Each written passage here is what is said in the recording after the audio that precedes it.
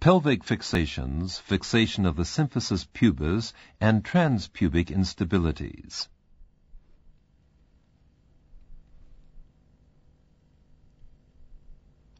In the plastic model, a pelvic instability type B with external rotation of the hemipelvis is simulated. The injury includes a symphysis disruption and a disruption of the anterior sacroiliac ligaments. The posterior sacroiliac ligaments are intact.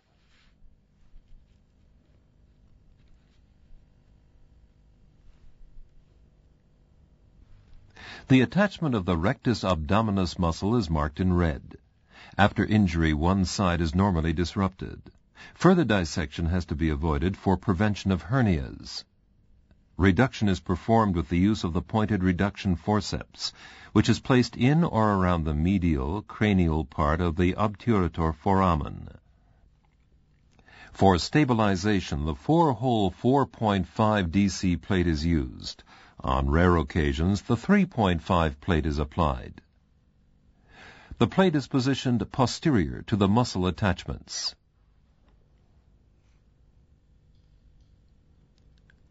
For optimizing the screw directions, both ends have to be contoured.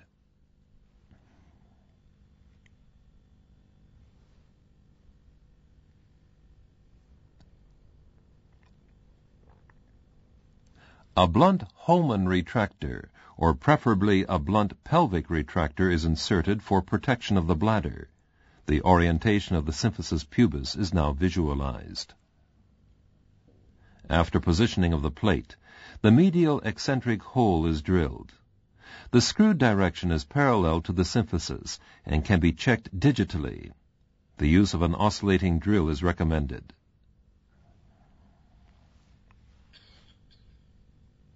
A screw length of 60 millimeters and more can be realized.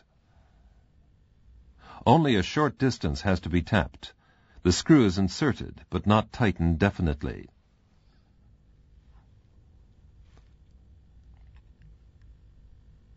The contralateral hole is also drilled eccentrically, and compression is achieved by alternate tightening of both screws.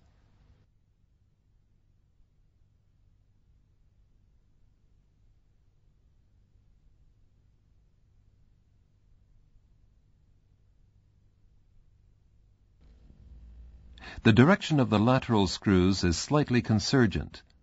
The drill is aimed towards the tips of the medial screws. The symphysis pubis is now fixed. The anatomical model demonstrates the screw positions and the optimum contact in the bone stock.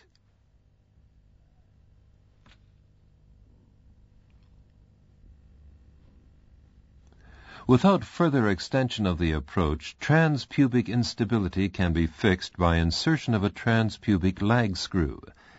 The screw corresponds to the anterior column screw known in acetabular stabilization.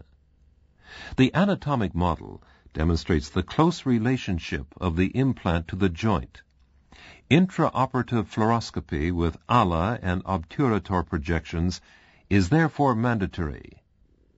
The entry point is caudal to the pubic tubercle, as lateral as possible for optimizing the screw direction. With the index finger, the fragments are reduced and the orientation is checked. For this exercise, the orientation of the drilling and the screw direction is practiced.